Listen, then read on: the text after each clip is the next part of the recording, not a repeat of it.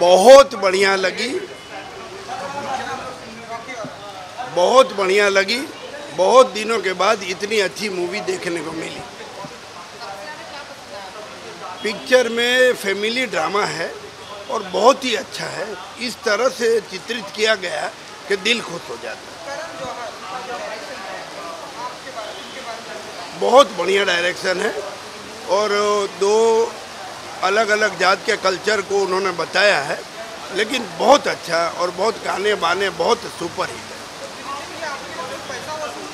Full full full पैसा वसूल है और ये पिक्चर चलेगी। आज अभी हेवी मानसून है और सुबह का शो था, इसलिए कम पब्लिक थी, लेकिन जैसा मौसम साथ देगा, ये बहुत पिक्चर चलेगी।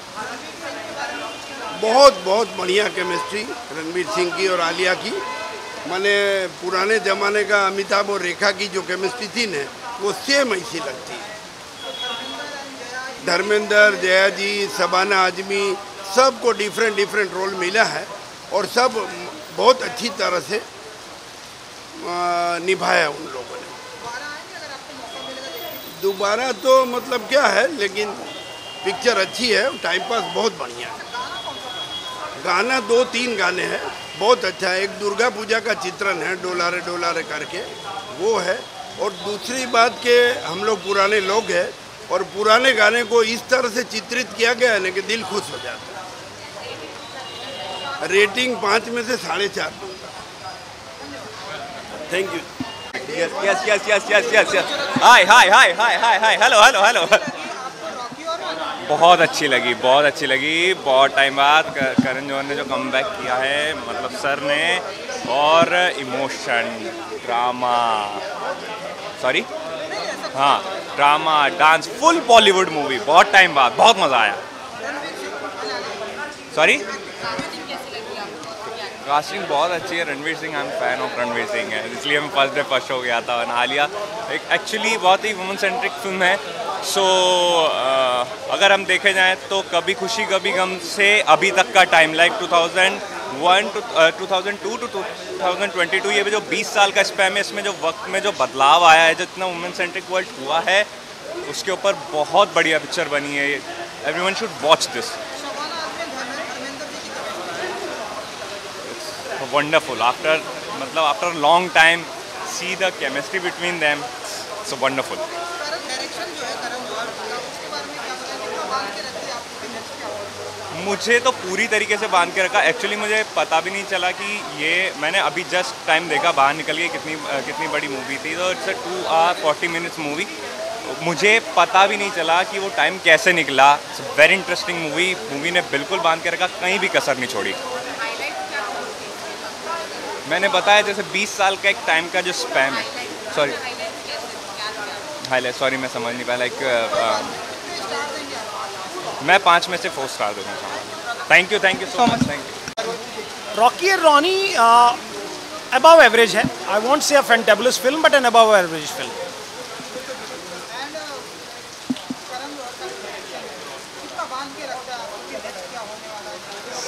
Karan Johar Karan Johar है। उनको अपना काम आता है। फ़िल्म बहुत अच्छी बनाई है।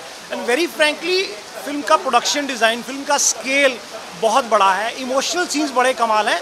मेरी प्रॉब्लम फ़िल्म की डायरेक्शन से नहीं है। फ़िल्म की डायरेक्शन उन्होंने कमाल की है।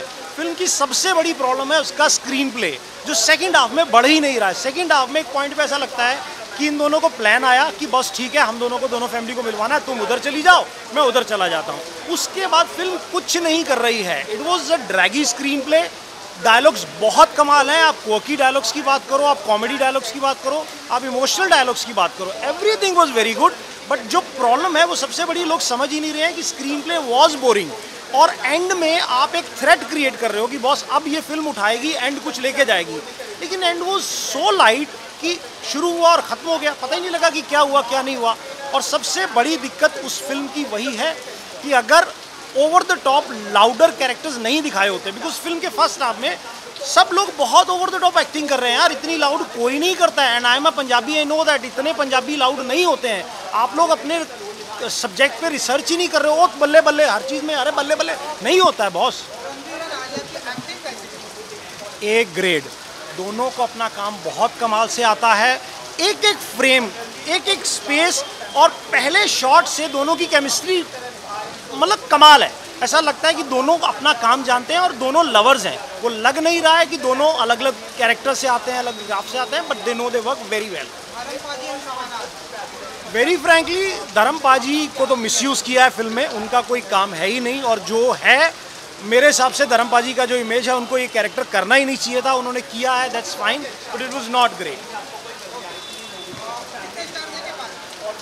यार, मैं हूँ कौन स्टार देने वाला बट नहीं आपने देखी आपने पैसा वसूल है आपका पैसा खर्च हुआ है इससे सिर्फ़ पैसा वसूल तो होता है बिकॉज़ करण जौहर की फ़िल्म में पैसा वसूल ना हो ऐसा पॉसिबल नहीं होता है। Film two and half stars I will give and आधा स्टार मैं आलिया भट्ट को एक्स्ट्रा दे सकता हूँ बिकॉज़ वो बहुत खूबसूरत लगी है। Thank you thank thank you आप बहुत टाइम के बाद देखिए।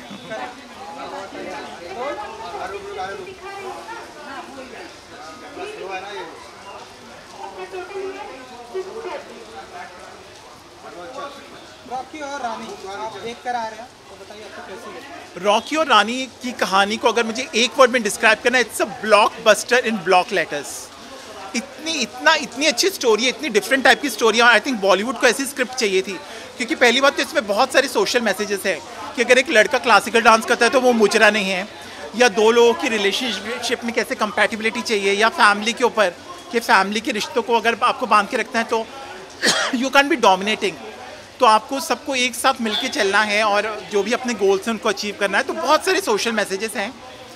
फ़िल्म का हाई पॉइंट उसका direction Karan Johar is back guys कभी खुशी, कभी गम। कल हो ना हो, चाहे वो प्रोड्यूस करें या डायरेक्ट करें, उनकी मूवी में वो जो फैमिली वैल्यू होती है वो है। इसमें भी फैमिली वैल्यूज़ हैं। और जितने भी किरदार है, बहुत ही अच्छे से लिखे गए हैं। और रणबीर और आलिया तो this set the screen on fire बहुत ही ज़्यादा ज़बरदस्त केमिस्ट्री है दोनों की। और उसके साथ साथ जितने भी सीज़न एक्टर है, धर्मेंद्र जी हो, शबान आजमी जी हो, जया बच्चन जी हो, इतना हार्ट वार्मिंग था सबको देखना सबने अपने किरदार इतने अच्छे से निभाए। जिया जी का वो स्ट्रिक्ट रोल बहुत ही स्टर्न रोल और उसके साथ साथ वो शबान आजमी जी का वो इतनी ग्रेसफुल लगी, और धर्मेंद्र जी भी अपने रोल में इतने अच्छे कि उनकी याददाश्त बीच बीच में वो भूल जाते हैं। और I think Ranveer Singh he is a versatile कि वो कोई भी उनको वाइड रेंज ऑफ़ रोल दे दीजिए, वो कर देंगे। चाहे वो गली बोल बॉय का रोल हो या फिर कोई भी मतलब अग्रेसिव टाइप का कैरेक्टर हो या किसी भी तरह का देखिए और संजय लीला बंसाली की भी मूवीज़ में कैसे आए थे या पद्मावत मूवी में उनका कैसा रोल था। तो I think he is a versatile और बहुत ही थॉरो प्रोफेशनल है, जो डोला रे डोला गाने पे उन्होंने डांस किया हम लोग तो देखते रह गए कि मतलब what all he can do और आलिया भी बहुत ही एलिगेंट लगी और उसके साथ साथ एसर्टिव भी हैं कि वुमेन पावर एम्पावरमेंट के ऊपर मैसेज देती है कि आप चुपचाप सप्रेस मत होइए, अपनी आवाज़ उठाइए। तो बहुत सारे सोशल मैसेजेस हैं म्यूज़िक बहुत अच्छा है, प्रीतम का चाहे वो तुम क्या मिले गाना हो, या फिर ढिंडोरा बहुत अच्छे से spectacular sets wonderful production design बहुत ही रिच यू नो सिनेमेटोग्राफी है मनुष नंदन की। एडिटिंग में मैं कहूँगा क्रिस्प है, क्योंकि भले ये तीन घंटे के आप कहीं बोर नहीं होंगे एंटरटेनिंग है। तो नितिन बैद की एडिटिंग भी बिल्कुल परफेक्ट है और डायरेक्शन तो है ही बेमिसाल तो I think it's a must watch it's a family entertainer बिल्कुल बिल्कुल बिल्कुल। आप एक बार नहीं दो तीन बार देखना चाहेंगे। और लोग आज की इतने बारिश के दिन भी so many people turn up there seventy percent occupancy and youngsters they enjoying it क्योंकि म्यूज़िक अच्छा है स्टोरी अच्छी है सोशल मैसेज है डायरेक्शन अच्छा है। तो it is all out blockbuster I feel I go with four star सिर्फ़ मुझे लगा कि और कुछ पार्ट्स में थोड़ा सा मतलब और सुधार हो सकता था but four stars is good enough I feel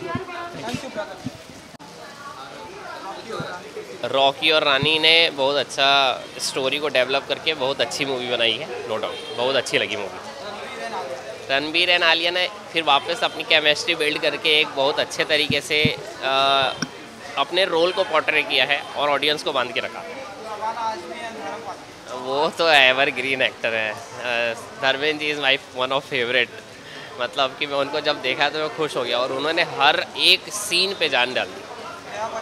Jaya Bachchan को आप देखोगे तो आपको लगेगा कि ऐसी औरत भी हो सकती है। मतलब उन्होंने इतना अच्छे तरीके से नेगेटिव पोर्ट्रे किया तो वो उनको देखे तो और मज़ा आ गया। मतलब कि आप समझ सकते हो कि जो कोई ओल्ड एक्टर हो या न्यू जनरेशन के एक्टर हो सब लोगों ने बहुत अच्छा काम किया। गाना आया अच्छा यार तुम क्या मिले वाला तो मतलब फील हुआ। वो बहुत अच्छा गा रहा था और बाकी जो शादी में चल रहा था वो गाना भी बहुत अच्छा था। लास्ट में? कथक। कथक तो बहुत अच्छा उस पर जो मैसेज दिया गया है वो बहुत अच्छा है। अगर ऐसी सोच कोई रखता है तो उसको वाकई में चेंज करना चाहिए क्योंकि किसी जनरेशन या किसी आप मेल फीमेल से डिसाइड नहीं कर सकते कि किसके लिए क्या चीज़ है ये आपके लिए कोई पैसा वसूल मूवी थी हाँ पैसा वसूल था फुल पैसा वसूल था टाइम ऐसा नहीं लगा कि मैंने वेस्ट किया बहुत अच्छे से मेरे को लगा कि मैंने अच्छी जगह इन्वेस्ट किया। हाँ ज़रूर आएँगे। ये तो आपका हंड्रेड परसेंट बाँध के रखता है। उन्होंने हर एक फ्रेम पे काम किया हुआ है और हर एक पॉइंट पे उन्होंने अच्छे से अच्छा अच्छा अच्छा नहीं लगने वाली चीज़ एक दो है। जैसे क्या होता है कई बार सीन्स के अकॉर्डिंग बैकग्राउंड वैसे दिखने चाहिए। तो वो थोड़ा सा ज़्यादा कलरफुल लगते हैं तो उससे इम्पैक्ट नहीं हो पाता। बस मेरे को यही दो पॉइंट्स लगे बाकी तो सारी चीज़ें अच्छी थी। पाँच में से कितने स्टार चार। चार। थैंक यू बहुत अच्छी फ़िल्म है फैमिली के साथ आप देख सकते हैं। उनकी केमिस्ट्री काफ़ी ज़्यादा अच्छी है गली बॉय में आपने उनकी केमिस्ट्री ऑलरेडी देखी है तो इसमें भी उनकी वही केमिस्ट्री देखने मिलेगी पर एक नए तरीके से। Shabana it was nice nice क्या? वो तो हमेशा से अच्छी एक्ट्रेस है तो उन्होंने अपना बेहतरीन काम किया है यहाँ पे। हाँ थोड़ा उनकी पंजाबी टोन को लेकर थोड़ा दिक्कत था but it was nice Karan sir की फ़िल्म और ड्रामे ना हो तो वो कैसे कंप्लीट होगा? और इट वॉज़ नाइस क्योंकि करण जौहर की फ़िल्म जो है, वो उससे कुछ नया हमेशा देखने मिलता है। तो आप ये देख सकते हो डायरेक्शन उनकी हमेशा अच्छी रहती है। नहीं मतलब एंटरटेनमेंट पर्पज से देख सकते हो। आप फ्री हो तो बट एक मोमेंट के बाद आप बोर हो जाएँगे। थ्री ब्रदर कैसी लगी आपको रॉकी एंड रानी बहुत अच्छी फ़िल्म है। बहुत ही ज़्यादा अच्छी है। आई मीन कुछ अच्छा वर्ड मैं आ, सोचना चाहूँगा इसके लिए। उतनी अच्छी एक जो थिएटिकल एक्सपीरियंस है जो हम आजकल मिस कर रहे हैं जो आजकल की फ़िल्में हम लोग एक्चुअली वेट करते हैं जो बहुत महीनों में एक बार ऐसे तो हर फ्राइडे एक फ़िल्म रिलीज़ होती है बट महीनों में जो एक बार एक फ़िल्म आती है वो this is Rocky and Rani I think Ranveer and Alia की केमिस्ट्री के बारे में क्या उनकी एक्टिंग आपको कितना बाँध के रखती है कितना पसंद आता है? Chemistry actually they look like a couple in every film चाहे आप गली बॉय देख लीजिए आप ये देख लीजिए they actually look like the kind of couple they are ठीक है? उसमें वो लोग बहुत छोटी फैमिली से आते हैं तो वो वैसे लगते हैं। इसमें बहुत रिच फैमिली से हैं दोनों ठीक है? तो वो वैसे लग रहे हैं। तो केमिस्ट्री एक्चुअली एक एक्टर की केमिस्ट्री ही हमें फ़िल्म को देखने पे मजबूर करती है चाहे वो शबाना आजमी एंड मतलब आइस ऑन केक ठीक है? मतलब धर्म सर को अभी हमने ताज में लास्ट देखा था ठीक है? बट वो बहुत कम सा रोल था। बट यहाँ पे जो एक आप हम जब जैसे बॉलीवुड सुनते आए हैं फील करते आए हैं तो इन लोगों के होने से एक वो टच रहा है बॉलीवुड का जो जिसने एक वर्ल्ड लेवल पे एक समय में पहचान बनाई थी। ठीक है अच्छा धर्मा प्रोडक्शन हो गया Yash Raj they are the very big contributor Jaya Bachchan की एक्टिंग के बारे में Jaya Bachchan is always you know एक तो जो उनकी इमेज है उनकी इमेज है what like she is very strict है ना? तो वो डिस्प्ले होती है क्योंकि हमारे दिमाग में भी वैसी है तो उसमें भी वैसी एक काइंड मदर और बहुत अच्छा किया डोला सब डोला सॉन्ग आपको पसंद आया नहीं? डोला डे डोला उतना अच्छा मतलब आई वुड नॉट से पसंद नहीं आया बट हाँ कंपेरेटिवली मुझे तुम ना मिले अच्छा लगा just maybe that is because कि तुम ना मिले हम बहुत सुनते भी आ रहे हैं तो दैट वाज बेटर देन डोला रे डोला। बट हाँ पिक्चराइजेशन ऑफ़ डोला एंड डोला was super fantastic more fantastic than तुम ना मिले। अरे फुल फुल पैसा वसूल फुल फुल वैसा बोले। Sir really fantastic film of course five I mean I think I my personally myself I am no one to cut out the stars I would give it more than five I had to thank you